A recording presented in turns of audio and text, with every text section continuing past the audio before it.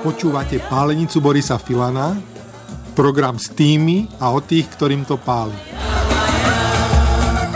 Keď som už vedel, že budeme v pálenici hovoriť o mode, napadol mi kúsok textu z geniálnej knižky 12 stoličiek od ruských autorov Ilfa a Petrova.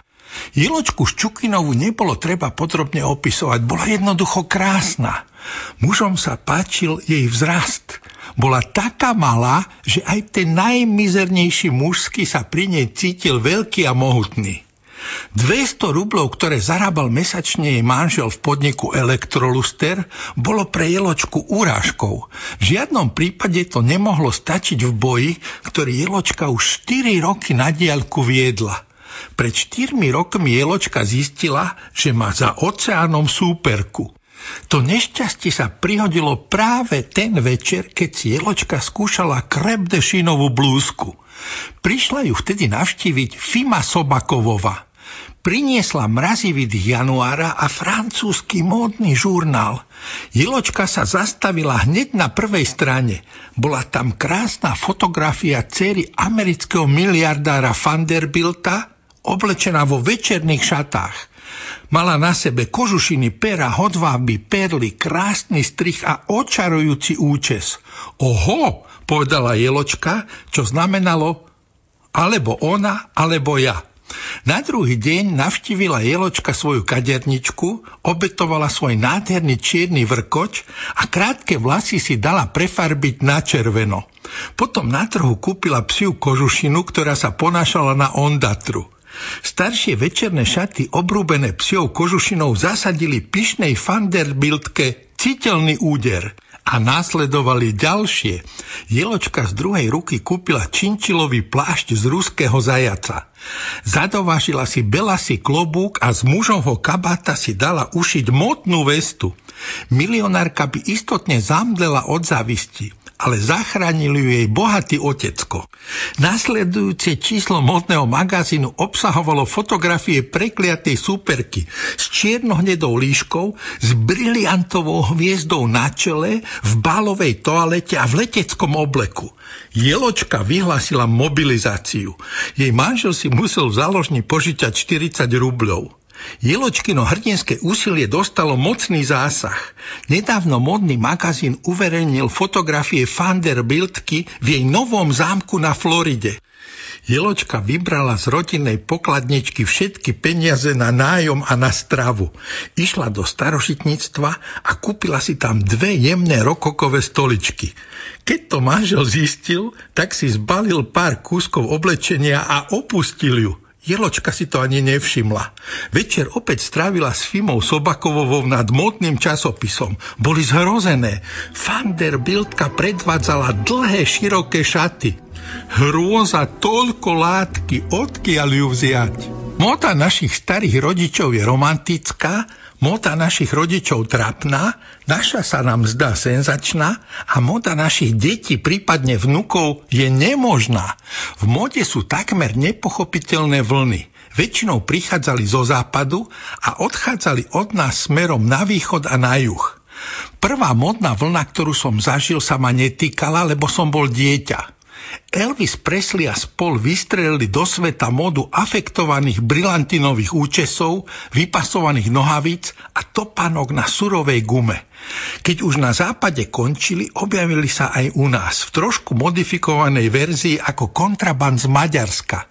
Mladí muži, ktorí sa obliekali ako Elvis Presley, sa nazývali potápkári, čo bolo pre dievčata neodolateľné a pre úrady a policajtov usvedčujúce. Potápkari boli spoločensky odpísaní. Na móde je dramatické, že sa nakoniec znemožní sama. Znamením, že niečo nie je v poriadku bolo, že sa to nedávno módne objavilo aj v bežných našich obchodoch. To boli bosky smrti. Moda zvonových nohavíc aj vypasovaných košiel ma iba lízla, ale prvé texasky a prvé trička s nápisom ma zasiahli takou silou, ako keď kopne kôň. Boli to 60.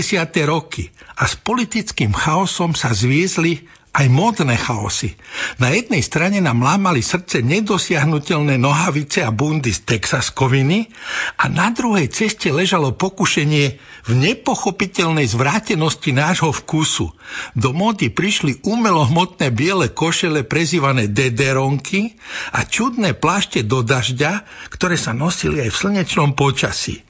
Boli tiež z umelej hmoty, modré alebo modrofialové, a volali sa šúštiaky, lebo vydávali zvuk, ktorý menil popoludní celé mesto na obrovskú baliareň igelitu. V tom plášti ste šušťali v chôdzi, keď ste si sadali, keď ste nastupovali do vlaku. Ale najviac to šušťalo v preplnenej električke, kde sa všetci obtierali jeden od druhého, až statická elektrina praskala. Móda má schopnosť človeka pripraviť o súdnosť. V náhlom skupinovom šialenstve sú všetci v túžbe po originalite rovnakí. V prvomajovom sprievode tej doby boli v sprievode 100 tisíce ľudí. Z toho dve tretiny mali na sebe dederonku a šuštiak. Zvyšok tvorili pionierské a zväzacké rovnošaty a ľudové kroje. Biele umelé košele z východonemeckého materiálu nazývaného dederon boli nekrčivé. Dederonku stačilo vyprať, vyvesiť a o chvíľu bola ako nová. Problém bol, že v časoch, keď sme všetci fajčili, bola horľavá. Stačila malá iskierka a na každej dederonke som mal vypalené aspoň tri dierky. Ale to neprekážalo, lebo ich mali všetci. Tie plášte a košele majú jeden historický unikát. Ešte nikdy sa nám nezdalo krásne niečo také hnusné. Móda sa každú chvíľu mení, prináša neistotu, nervozitu a drahotu. Nemóda presne naopak. Nemóda na tomto území je upokojujúca, lacná, stabilná, neústupčivá ako vodný kameň na vani, ako hrdza na 20-ročnej MBčke. Nemóda má svoje nuancy. Je v základe mužská, ženská, letná, zimná, mestská, malomestská, dedinská. Pred nástupom džínsovej éry nosili muži takmer jednotnú rovnošatu. Pokrčené sivé nohavice, nenápadná košela neurčitej farby a pletená vesta – a k takej nejakej košeli a doma pletenej veste patrilo ovísajúce sako s vytlačenými lakťami. Na nohách nosili muži hnedé alebo čierne baganže a v meste skôr lacné poltopanky s ochodeným opätkom a v nich cvernové sivé ponožky. V lete sa objavili na mužoch svetle pokrkvané nohavice a kockovaná košela s krátkým rúkavom a na nohách sandále také husté, že Kristovu obu pripomínali iba dvoma škárami na boku. Povedal som, väčšina mužov bola oblečená rovnako a k tomu oblečeniu patrila vôňa lacných cigariet a kyslá aroma včerajšieho sudového vína alebo vyčapnej borovičky. Účesy, strojčekom vyholený zátilok a dozadu začesané vlasy s výraznými kútmi oholené tváre a všetko prekrývajúca vôňa pitralonu. V jednej chvíli ten kostým starých čias odvial texaskový uragán. Lenže muži sa neprezliekli do priliehavých levisiek alebo do šmrncových bundičiek. Začali nosiť džinsovú verziu tej svojej nemody. Nohavice aj saka ušité z maďarskej texaskoviny, mekej ako handra, odporne plesnevej modrej farby. Z toho istého materiálu si nechávali naše ženy šiť voľné saka a sukne, aby zakryli faldy a vypukliny. Ženská nemoda tu bola pestrejšia ako mužská a tiež mala svoje mestské, malomestské a dedinské verzie. Bratislavská alebo košická nemoda občas prijala niektoré modné prvky, napríklad ženy začali nosiť kostýmové komplety so zlatými gombikmi, alebo sa do ich šedivosti vkradli prvky batiku a modrotlače. Už jen sa dal šatník odhadnúť podľa ich účesu.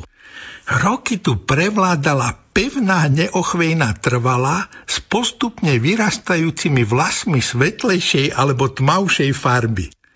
Takto korunované krásavice nakupovali v úbohých predajniach odevy a nechávali si šiť od kamarátok. Ku koncu socializmu vyrážali naši ľudia do Maďarska a tam si kupovali doma šité pokusy o napodobnenie západných značiek. Lenže tá naša nemóda nepramenila z nedostatku kvalitného tovaru. Nemóda to bol stav mysle, názor, pocit a prejav. Vo svete nemódy nikto nikomu nezavidel, nikto nebol pekný ani škaredý, tučný ani chudý. Raz som sedel v hybskej krčme s účokom Bobošom a on sa pohoršoval nad susedov. Vraj navštívila dceru v Paríži a priniesla si od nej obnosené handry. Ujčok spozornel, pozrel cez okno a vraví, veď tam to ide, pozri sa na ňu, ako sa nesie, madame. Máme ženy, ktoré pôvabom premôžu aj nemodu. Ale nemoda vládne svetom. Časopisy, reklamy a bulvár vyvolávajú pocit, že celý svet sa zaujíma iba o vysokú módu. Ani náhodou. Kráľovnou obliekania je nemoda. To ona prežije všetky výstrelky a trendy. Lebo nie je pravda, že šaty robia človeka ale že človek robí šaty. Skvelí spisovatelia George Orwell a Aldous Huxley v minulom storočí opísali svoju predstavu budúcnosti, v ktorej my raz budeme žiť. George Orwell varoval, že svet bude ovládaný skupinou všemocných, ktorí nás budú kontrolovať, riadiť, väzniť a mučiť. Orwell predpovedal, že v budúcnosti sa ľudia nedostanú k informáciám a budú im zatajovať pravdu. A Huxley napísal, že média ľudí zasypú toľkými informáciami, že nedokážu rozoznať, čo je pravda a lož. Orwell sa obával, že nám odoprú prístup ku knihám, Huxley si myslel, že kníh budú plné obchody, že potečú z pultov a nikto ich nebude čítať. George Orwell si myslel, že ľudí budú zatvárať do väzenia, mučiť, trápiť ich bolestiami a nedostatkom. Aldous Huxley predpovedal, že nás utopia v smiechu, v slastiach, v prebytku jedla, v informáciách a lacných handrách. Pozor, tá budúcnosť už je tu a my vieme, ktorý z tých dvoch mal pravdu. Mojím hostom je pani Zuzana Šidliková. Som rád, že ste prišli do Pálenice. Dobrý deň. Dobrý deň, ďakujem za pozvanie. Máte v popise práce napísané výskumná pracovníčka. Ako sa skúma moda? Ja som bola 3 roky zamestnaná na Vysokej škole výtvarných umení na Centre výskumu a tam sa venujeme rôznym výskumným úlohám. Samozrejme, väčšinou sa týkajú výtvarného umenia, ale v podstate môjim cieľom a môjim zámerom bolo práve výskum e, v oblasti módy v období Československa. Chodíte do terénu? A... Závisí od toho, že kto má ako postavenú výskumnú úlohu, lebo keď má niekto postavenú na stredov človek, tak samozrejme je trošku iný typ výskumu ako e, v mojom prípade. To znamená, že keď som mala stanovené obdobie povedzme medzi 48, respektíve 45 až 89, tak e, tých žijúcich pamätníkov je relatívne dosť. To znamená, že aj práca v teréne bola, bol to taký sociálny projekt pre mňa čiastočne. A máte takú profesionálnu uchylku, že skúmate aj mimo pracovnej doby? Tá profesionálna deformácia tam je, ale nie som, e, ako by si niekto mohol myslieť, nejaký um, šopoholik, alebo naozaj s týmto to nesúvisí a dokonca ja som sa nikdy nepovažovala za nejaký typ nejaké modnej policie, že by som vedela pracovať ako keby v tejto oblasti, takže v tomto smere som sa pohla úplne inde. Napísali ste knihy Moda na Slovensku v medzivojnovom období 1918-1939 a Stratená moda odevná kultúra na Slovensku v rokoch 1945-1989. Jedna tá knižka je lepšia a krajšia ako druhá. Sú neuveriteľne obsažné, sú výborne urobené a sú tak zdržanlivo krásne. To sa mi veľmi na nich páči. Málo kedy sa kniha tak veľmi podobá na autorku. Keď sme sa stretli minule v knihkupectve, tak ste tam žiarila nenápadnosťou. Zuzana Šidlíková vyzerá tak, jak si predstavujeme ušlachtilú francúzsku, ktorá prišla do Paríža zo severu. Ale tie francúzsky také nie sú. Vy ste pôvabná oblečená s vyberaným vkusom. Ako sa obliekate? Komu veríte? Kto vás oblieka?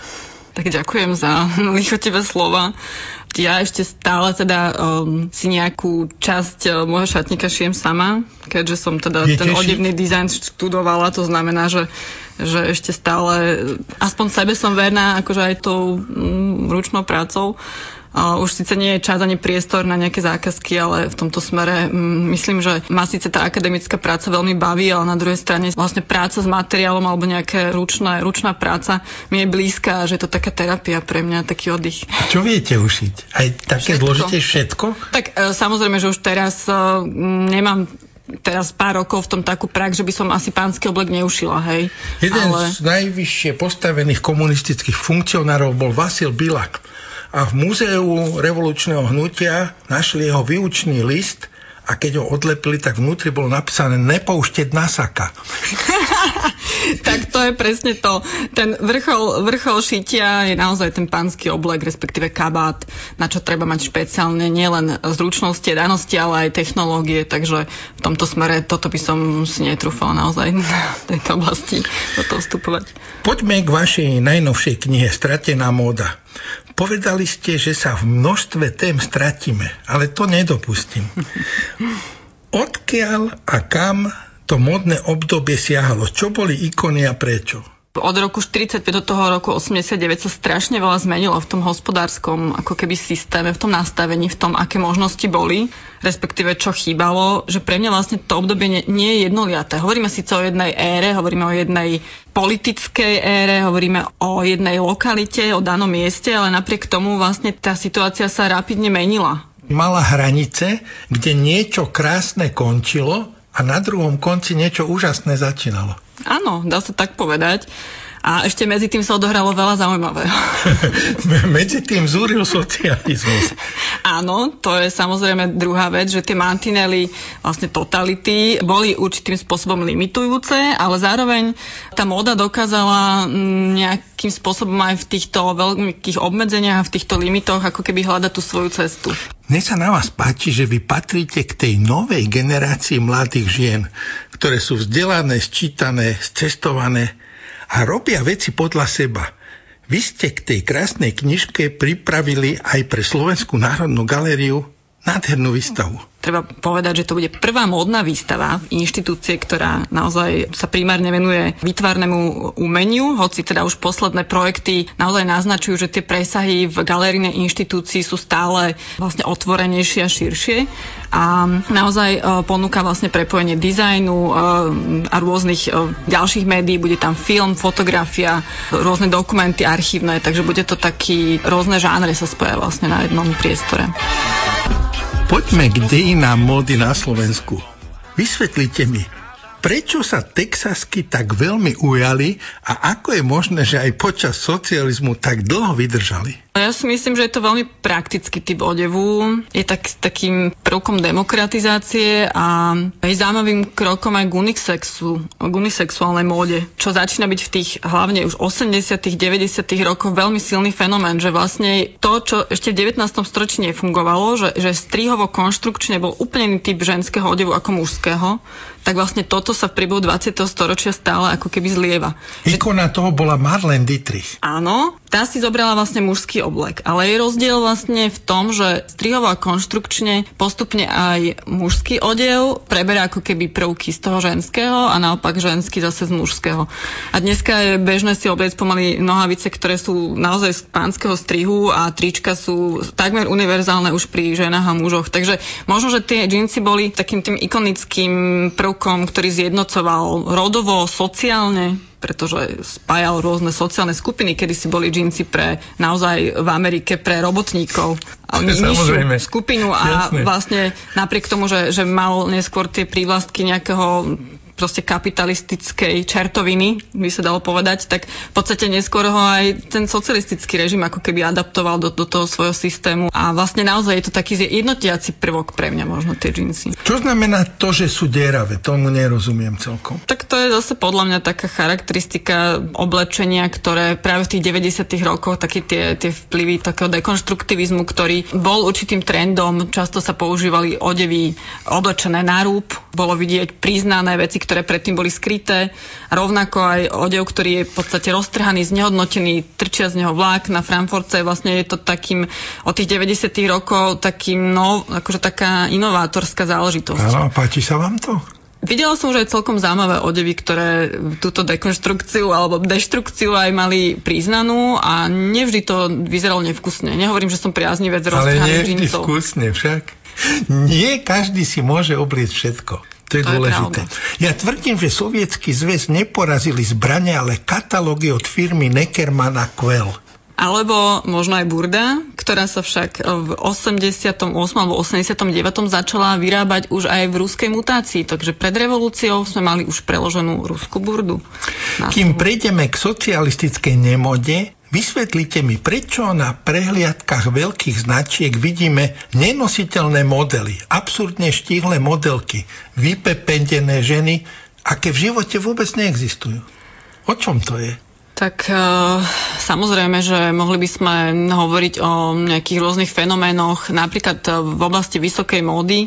Dlhodobo platil vlastne taký ten, ten systém inšpirácie ako keby z hora, by sme mohli Jednoduchšia otázka, kto to kupuje? Mnohé značky robia aj odevy prešov a potom robia odevy, z ktorých zarábajú zjednodušene povedané, hej, mohli by sme sa tomu venovať aj dlhšie, ale práve tie odevy prešov pomáhajú ako keby zviditeľniť tie značky, pomáhajú im robiť meno a pomáhajú potom neskôr získavať takých tých klientov, ktorí kupujú veci, ktoré sa dajú bežne nosiť. Musím do toho vstúpiť. Pod termínom moda prešov neznamená prešovská moda, ale moda, ktorá vytvára show. Aké odevy by navrhovala značka Zushi by Susan Shidlick?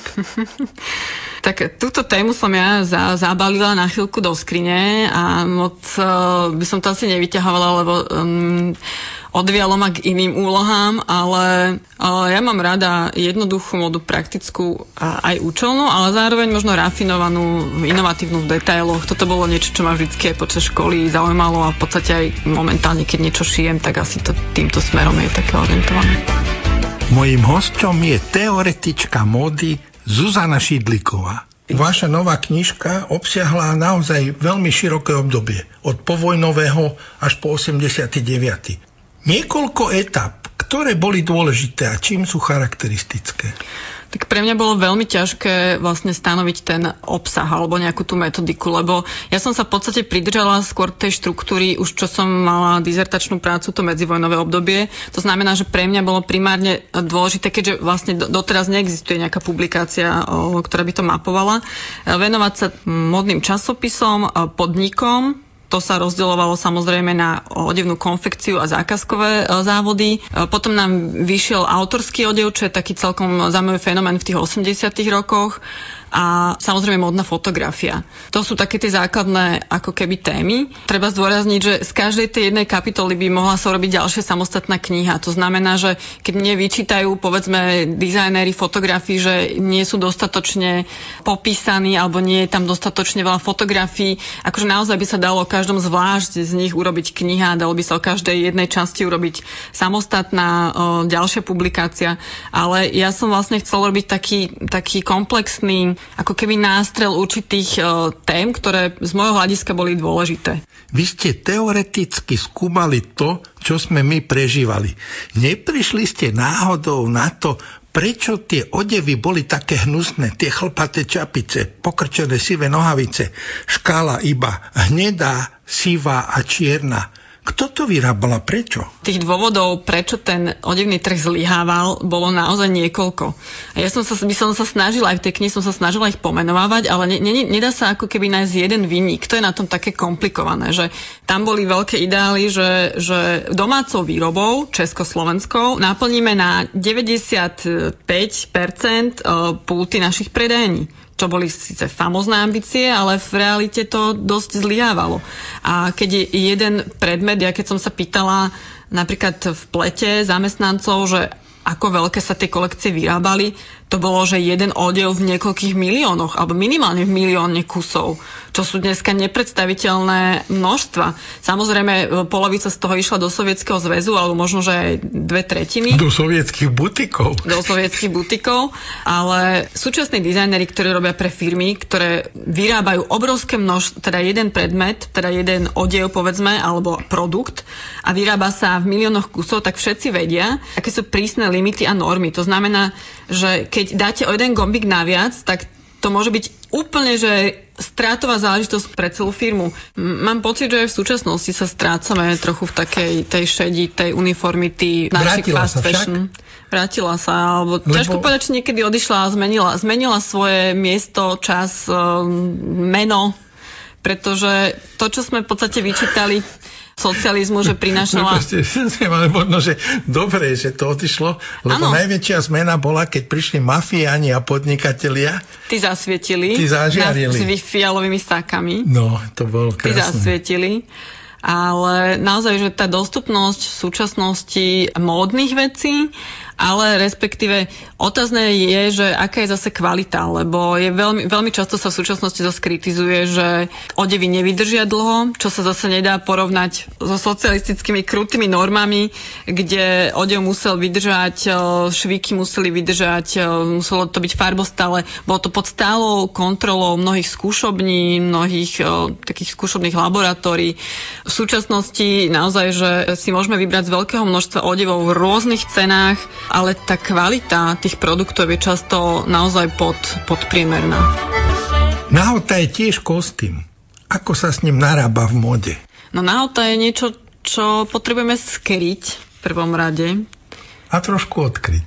A trošku odkryť a ten pomer je vždycky to záhadou, že ako, ako sa to namieša. To je tiež individuálne aj sociálne. Svojho času už ukázať kotníky bolo maximálnou provokáciou. A niekedy to bolo aj dobre. Áno. A je fakt, že, že čo sa týka napríklad minisukní alebo nosenie dámskych nohavíc, tak tie no, nohy sme ako ženy odhalili po mnohých, mnohých storočiach v našom kultúrnom okruhu. Mode podliehali aj vlasy a ochlpenie. A ženy bývali na Slovensku nádherne chlpaté, mali chlpaté nohy, mali tuto na boku také chlpky. Tie najkrajšie mali fúziky a keď v lete sa im urobili také drobné kvapôčky, potom to bolo neodolateľné. Keď boli na kúpalisku, tak z tých plaviek im také vychádzalo, že im jaskinka vyšla na prechádzku a potom prišla Twiggy a všetko to zmizlo. Históriu ochopenia žena, som veľmi nejako nestihla až tak mapovať, že kto to teda priniesol, ale je fakt, že na modných fotografiách v časopisoch 50 60 rokoch ešte stále vidieť, že majú dámy chlpaté nohy mo, na modných no, jasne, fotografiách. Keď náhodou prišli Ukrajinky a bývali v hoteli Kiev a vyšli von a mali pod Ale je, samozrejme jedna vec je, že, že Ukrajinky, ale, alebo vôbec o, ako to vyzeralo na kúpaliskách, ale, ale tá modná fotografia prinášala akýsi taký ideálny obraz, hej, modný. Ale aj na tom ideálnom obraze tí chlpy boli úplne bežnou súčasťou. To znamená, že že nebolo to nič také, že Kto by tomu odolal? no, áno, kto by tomu v tej dobe odolal. Preštudovali ste dve veľké obdobia medzivojnovú a teraz tú socialisticko-kapitalistickú. Čo z toho je vám blízke? Čo sa vám z toho páčilo? Um, otázka na páčilo je taká strašne zavadzajúca, lebo tak to asi neviem no, odpovedať. Neviem povedať. že, že čo by ste si vy rada obliekli, keby ste mohli tak. z toho? Pre mňa má celkom šmarn v súčasnosti tá moda tých 20 rokov. Je to, je to taký, taký zaujímavý prejav možno v tej dobe aj takej výraznej ženskej emancipácie skrátili sa šaty, zrazu bolo vidieť kolena, a zároveň tie ženy mali ešte taký šmrnc, bolo to taký skvelý glamour, mm, lesk tej doby, ale to je zase len taký možno spomenkový optimizmus, lebo keď si zoberieme naozaj tú realitu aj v Československu, ktoré bolo prevažne stále agrárnou krajinou, tak hovorí tu o nejakých veľkých dámach, tak asi by sa to netýkalo veľkého počtu obyvateľstva. Napísali ste dve vynikajúce knižky o dejinách módy. Hovorí sa, že kto ovláda minulosť, ten ovláda aj budúcnosť. Čo sa bude nosiť vždy? Šaty. Už to asi figovne. Kým sa nevrátime na stromy. Ďakujem, že ste prišli do Palenice. Mojím hostom bola pani Zuzana Šidliková. Ďakujem za pozvanie ešte raz. V štúdiu mám vzácného hostia, ikonu československej módy 60 rokov, manekinka Luba Magatová Rusková. Som rád, že si prišla do Pálenice. Ďakujem ti pekne. Lubka, keď som bol minulý týždeň u vás doma na návšteve, tak som sa ocitol v inom svete. Máte nádherný dom plný svetla, veľkú záhradu. Kto sa o to všetko stará? Počúvaj, my tam bývame pomaly už 40 rokov a zo začiatku som bola hrozne nadšená, sadila som, presádzala som, tvorila som, ale už ma to opustilo, takže to je taká záhrada, taká jak v Benátkach som videla také, že všetko rastie samo od seba, ale treba to strihať a je to strašná robota, lebo koniec pozemku, v strede mesta sme, sú storočné stromy a ty vyplodia pol metra odpadu. A to, to je niekto starší od nás. tvoj manžel a môj kamarát Kajo Rusek vyzerá ako Ted Turner, zakladateľ no. CNN. No len to jak, CNN mu chýba. Ako tenisový veterán. V rozhovore niečo utrusil, že ako on navarí. Varí Kajo? Alebo ty varíš? Prosím ťa, absolútne nič. On keď by mal ísť niečo uvariť, tak sa ma opýta, kde je panvica, kde je maslo, ale on e, sa tvári, že niekto to urobí. No. Lubka, ty máš nádherné pestované ruky. Neprekáža ti to pri tom varení a upratovaní? To Nie, nové? prosím ťa, ja som na to zvykla. Nemám vôbec umelé nechty takže keď sa zlomí, tak sa zlomí, ostriham ďalšie. Ale to je nejaké, asi som to zdedila po mojom ocovi, takéto dlhé ruky, niektoré, ktoré ma prakticky doniesli k tomuto To som chcel povedať, že niektoré dievča privedie k modelingu tvarine postava a teba tie krásne ruky. Áno, presne tak. To bolo niekedy koncom 60 rokov, začiatok 70 Som ako študentka Vysokej školy ekonomickej bola v bižutérii sa pozrieť čo nového. A tam bolo kopu tých korálov všelijakých reťazok vyložené na pulte. Predo mnou stala jedna pani a ja som sa tak natiahla pre nejaké tie korále a ona mi chytila ruku, otočila sa na mňa, hovorí, máš nádhernú ruku, poď fotiť. A ja hovorím, a čo fotiť? Ja som netušila. A ona hovorí, som šéf-redaktorka časopisu Móda, prosím ťa, dohodneme sa na nejaký termín a prídi. Prišla som a odtedy to išlo 25 rokov tak ako bol Jožo Golonka symbol hokeja, Laco Petráš symbol futbalu, tak ty si bola symbol módy. Všetci sme mohli na tebe oči nechať. Ale ty si si nás nevšimala. Nepačili sme sa ti? Vieš čo, ja som, nie že nepačil, ja som chodila len do toho večka, však sa pamätáš, to bol, to bol náš disco bar, všetko to tam bolo. A ja som nemala čas, človeče. Ja som, tým, že som chodila do školy, musela sa učiť prednášky, potom som dosť veľa cestovala. Čiže keď som vypadla, keď som konečne získala doložku a toto všetko, tak som 2-3 týždne bola preč, potom som sa vrátila, potom som to musela doháňať, potom som išla do večka, aby som vedela, čo je nové vo svete. Takže nemala som čas, nie, že by sa mi nepačili, ale bolo to také nejaké hektické vtedy. Ty si jedna z mála Sloveniek, ktoré sa v modelingu presadili naozaj na svetovej úrovni. Mm-hmm kde všade bola si aj tvár jednej um, kozmetickej áno, firmy. Vieš, čo, vieš, čo to je hrozné? Teraz sa to strašne dobre o tom hovorí, ale vtedy, keď som získala ten kontrakt v západnom Nemecku, úplne tak akože náhodou videli ma na nejakej prehliadke a bolo to, ja som vždy mala predstavu, že keď sa robí jeden kontrakt, že to snáď trvá mesiac, dva. Toto bolo za jeden deň. No a išla som to fotiť a potom som tam išla znovu, keď to práve vyšlo. Prvé vyšlo v Šterne ako dvojstrana strana a potom všetkých tých modných magazínoch. Ale vieš, smutné bolo na tom to, že ja som prišla na Slovensko, ja som sa nemohla pochváliť. Ja som nemohla povedať, tu ja som tvár kozmetiky pre celú Európu. Nemohla. Komu? Ty si bola doslávna aj ano. na Slovensku, pretože bol jediný obchodný dom Dunaj ano. a tam, ako sme išli hore po schodoch, všetko moje fotky. tak všetko boli ano. tvoje fotografie. Aj, Ale aj ty si nebola taká tá manekína, čo sú tie deti, ktoré tam vyťahujú na ne, ne, ten ne. catwalk. Ty si bola krásna žena. Akože bola. No tak ja, na tých fotkách, čak tie tu nevidíme. No, no ja som už bola taká, že dospelejšia, že to nebolo to rachitické nejaké. A mala som to šťastie, že som bola vysoká, štíhla, lebo sú modelky, ktoré sú ako v tvári krásne a hodia sa len na fotografovanie. Čiže sú fotogenické a robia len do časopisov. A potom sú také, ktoré aj trošku majú tvár, aj sú vysoké, čiže môžu ísť aj na to molo a môžu aj fotografovať. Keby si mala 13-15 ročnú dceru, ktorá by vyhrala nejakú veľkú súťaž, pustila Joj, by si ju na pol roka vieš, do sveta? Viem, čo sa ma chceš opýtať. Asi nie, človeče. Asi nie. Vieš, keby som ju bola mala pustiť vtedy, keď ja som začínala, tak áno. Ale keďže dneska je ten svet, ja hovorím, že Zemegula je napadnutá nejakým vírusom. To není možné. Vírusekom. Vírusekom, áno. Takže asi by som sa bála, lebo ten mozog toho 14-ročného dievčaťa nie je tak vyvinutý, že by predpokladala nejaké nástrahy. Mm. Neverím tomu. Bála by som sa. Možno, že keď by som mala čas, išla by som s ňou, to áno. Ale nejak ju tam nechať samú do otvoreného sveta, asi nie. Lubka, niečo ti musím porozprávať. No. Mňa modné prehliadky nezaujímali, ale raz ma Ruto Birman zlákal do Domu kultúry v Ružinove a mal VIP listky. A Rudo mi povedal, vieš, čo je najväčší úspech pre chlapa, keď upúta pohľad manekiny na mole.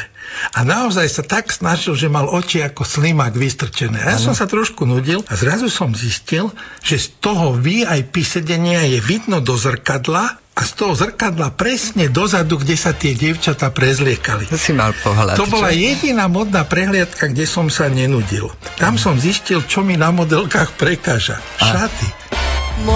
Dubka, ty si bola medzi najlepšími európskymi manekinkami. Zúčastnila si sa na veľkých podujatiach. My sme videli iba to lesklé prepichové námole. Ako to vyzeralo v zákulisi? No chaoticky. No chaoticky, pretože tam e, boli, aby som slovenské hovorila, my sme tomu hovorili štendre so šatami, čiže také stojany, kde vyseli šaty, mali tam byť topánky pod stojanom, Niekedy mi ich ukradli, lebo niekto iný išiel predo mnou, takže som hľadala niečo. No, bolo to trošku chaotické. No. To, čo som robila v Nemecku, tú veľkú show, tak to bolo trošku iné. Tak bolo na každý tender, kde boli módy, povedzme pre mňa, modely, tak boli tri baby. Jedna dohliadala na šaty, druhá dohliadala na oblečenie a tretia na celkový vzhľad, či je všetko v poriadku, či tomu nič nechýba. Takže to bolo absolútne super. Ty si moja kamarátka, teba sa môžem spýtať, ako vás platili? Tam dobre. Tam dobre, ale tu ja som aj minule niekde bola v televízii, ja som hovorila, že ja som mala pocit, potom, keď som dostávala honoráre tam, toto bolo z lásky k vlasti to bolo 200 korún alebo 300 korún, no to už keď bolo nejaká veľká prehliadka ako tu, ale taká, že boli tie brnenské veletrhy a také, tak to 500 a to už sme sa cítili no, strašne bohatí. Ja obdivujem, že ty si nevsadila všetko na jednu kartu. Bola si krásna, schopná, vedela si reči, hm. ale aj tak si si skončila školu a urobila si si profesiu. Neverila hm. si tomu modelinku celkom? Vieš čo, verila som, len každý človek musí vedieť, že niekedy musí skončiť. A ja som nechcela zostať tak, že teraz robím modu, modu a naraz to praskne a čo ja budem robiť. Takže ja som si povedala, ja tú školu musím na každý pád dokončiť, aby som mala niečo v ruke a popri tom potom som mala slobodné povolanie. Čiže ja som pokračovala. Ja som Ale si vzdelaním ekonom. Áno, len som skončila ekonómiu, potom keďže som mala strašne veľa roboty každý deň, tak som pokračovala a potom už keď sa mi narodili deti, tak to tak trošičku ako išlo do stratená. Lubka, strašne príjemne sa mi s tebou spomína. Úplne vidím pred sebou tie časy. A tak musím povedať také dôležité mená. Pani Vlastu Hegerovú, pani Lorincovú, ale aj nášho kamaráta, vynikajúceho modného fotografa Karola Kalaja. No tak s Karolom som robila 25 rokov. My sme sa poznali už, čo sa profesie týka tak, že keď som sme niečo fotili, buď nejaké koktejlové šaty večerné, alebo nejaké úplne ten pakoraban štýl, tak ja som sa postavila a on už, jak sa pozeral, už som vedela, že je zle. Tak som sa nejako inač pootáčala a hovorím, Kajo, ja necítim dobre svetlo. Ja, ja som cítila svetlo, že, že není dobre. A hovorím, máš pravdu, není to dobre. Takže my sme sa strašne v tomto doplňali. Lúbka, ty si mala vysokú hodnosť v armáde krásy, ktorá bojovala za módu v tom strašnom socialistickom Československu. A keď sa to otáčalo, tak si prestala. Prečo? Vieš, prečo som prestala? Ešte keď som mala toho prvého syna, mám syna Borisa tiež, tak to... A Miška. A Miška, áno. Tak to som ešte fotila a boli také okamy, že som povedala, Karol, nemôžem prísť, lebo ja nemám kde dať syna. A on hovorí, nevadí, prídi, my ti ho postražíme.